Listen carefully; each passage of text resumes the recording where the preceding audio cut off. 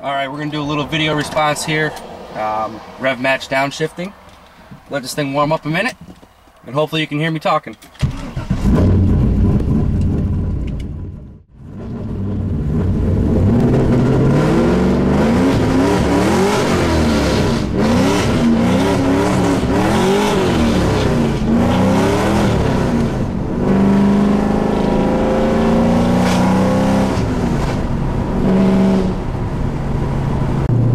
rev match. It's not that hard.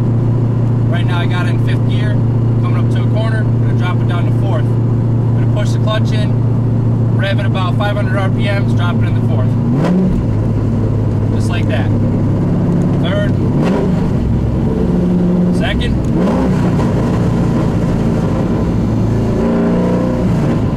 Really nothing to it. You want everything to be smooth the downshifts, so you're not getting uh, drive line shock. Like if I just, I'm in fourth right now, I throw it down in the third and just let the clutch out.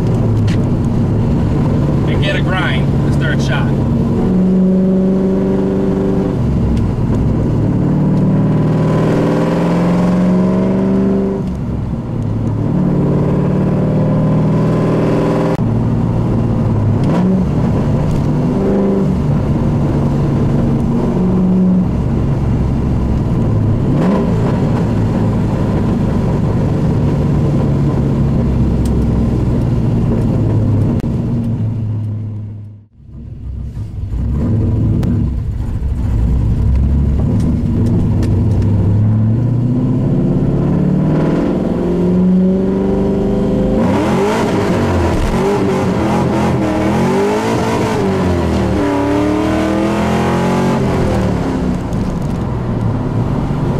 Now, if your synchros are shot and you want a rev match, either upshifting or downshifting, push the clutch in, put the shifter to neutral, let the clutch out, push the clutch back in, and then go into the next gear, whether it be a downshift or an upshift. If it's a downshift, do the same thing as a normal rev match and just throw a rev.